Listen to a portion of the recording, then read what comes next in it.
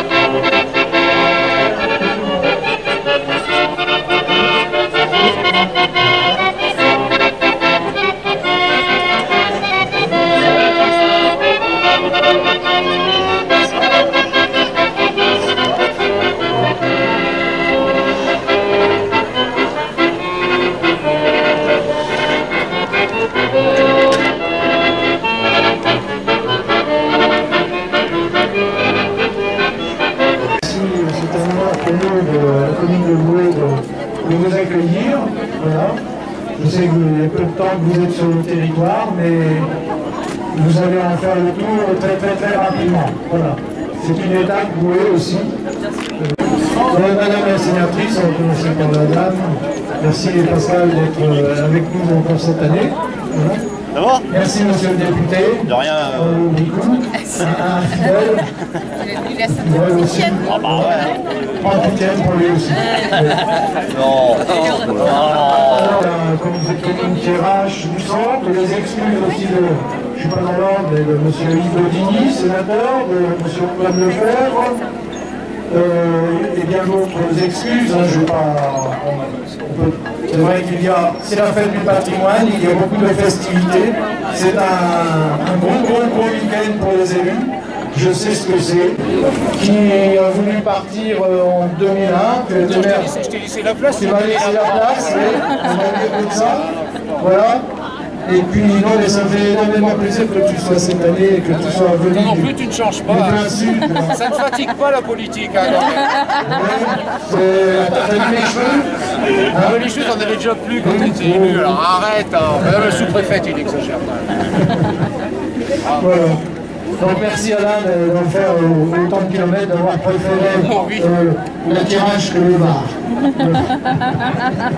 merci. Euh, en tout état de cause, Merci, merci Monsieur le maire,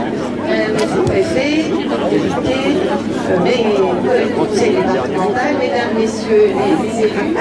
Je salue surtout tous les bénévoles et toute l'équipe municipale qui font de cette fête. Merci beaucoup euh, pour cette invitation. Bah, moi, c'est ma première participation à la kermesse de la pomme et du cidre. Euh, vraiment, merci de vous mobiliser parce que c'est aussi ce qui fait vivre euh, eh ben, les villages, ce qui permet d'avoir de l'activité. Je crois qu'il y a beaucoup de monde, le temps euh, s'est joint à nous. Et puis moi, je suis très contente qu'on puisse mettre en valeur bah, les produits du terroir. Voilà, on entend beaucoup parler du cidre de Bretagne, etc. Mais une fois qu'on a reçu le cidre de tirage, on se rend compte bah, qu'il est aussi bon, voire euh, meilleur. Voilà. Alors, les, les journalistes, les photographes, de quel côté vous préférez-vous Là, nous les jeunes, par rapport au soleil. Comme ça, D'accord, vous faut toujours aller. Vous savez, il faut les écouter.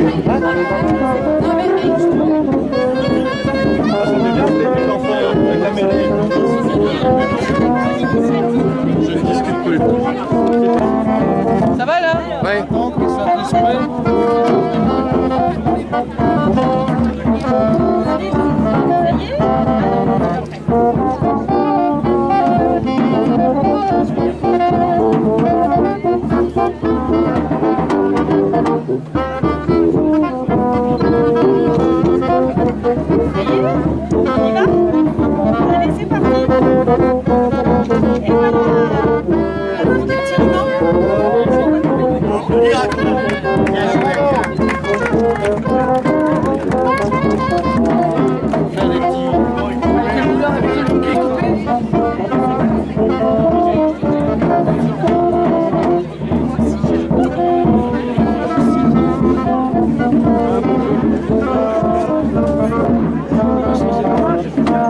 Bien.